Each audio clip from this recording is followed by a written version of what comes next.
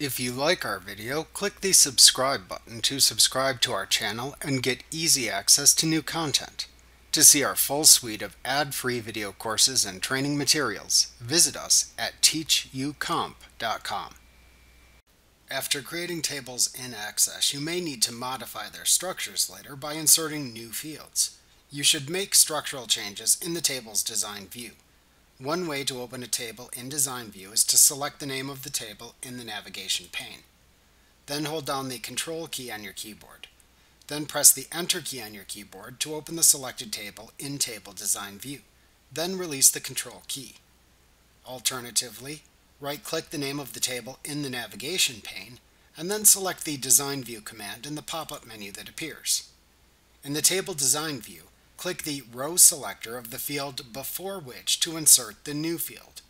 For example, to insert a new field for hire date into a table and place it before the start date field, click the row selector of the start date field.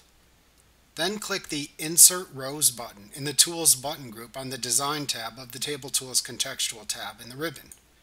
A new blank row is then inserted above the selected row. This is your new field. Enter a name for the field, and then select its data type to finish creating it. Then save the structural modifications you made to the table by clicking the Save button in the Quick Access toolbar. Remember to click the subscribe button to see more of our videos. Get ad-free courses at teachucomp.com.